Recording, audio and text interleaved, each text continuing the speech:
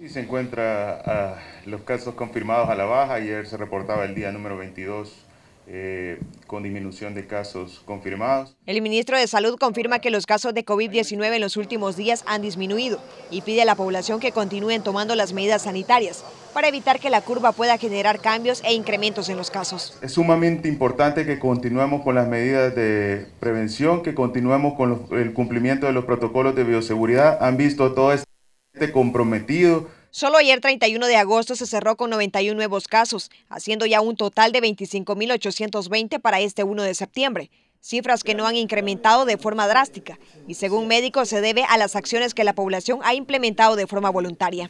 Pues eh, ha disminuido eh, la cantidad de camas hospitalarias usadas por estos pacientes, así como las consultas. Eh, en ese sentido, pues tiene razón el señor ministro. Sí, todas estas semanas hemos estado sin ley prácticamente que no nos ampare nadie, ni por parte del gobierno, ni parte de, de sino que hemos estado solos. La única explicación que esto tendría es que la población realmente ha entendido el mensaje. De acá acá, de que aquí todos dependemos de uno mismo. El ministro es consciente que con la apertura económica en todos sus rubros, la curva del COVID-19 podría seguir aumentando. ¿Que podemos esperar un repunte? Sí.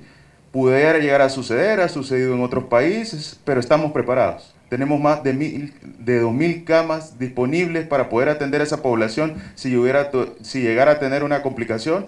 Los infectólogos dicen que existe la posibilidad que en las últimas semanas se pueda dar un repunte del virus y quienes podrían estar más expuestos son los jóvenes si no toman las medidas adecuadas. Nosotros, al igual que otros países, como he mencionado de Europa, puede ir en aumento el número de casos. Si los jóvenes no cumplen en estos momentos todas las recomendaciones que ya se han aprendido durante los meses anteriores, creo que sería realmente un error que no lo hicieran. Pero con esta reapertura que se dio por una falta de acuerdo político entre el Ejecutivo y el Legislativo, eh, de no tener una reapertura ordenada en fases, pues estamos en riesgo de que podamos volver a tener un repunte o, eh, o una segunda ola infecciones. Según la curva de COVID-19 en la página oficial del gobierno, el día con más casos de la enfermedad fue el 9 de agosto con 449 positivos. Con imágenes de Roberto Linares para el noticiero Briseida Morán.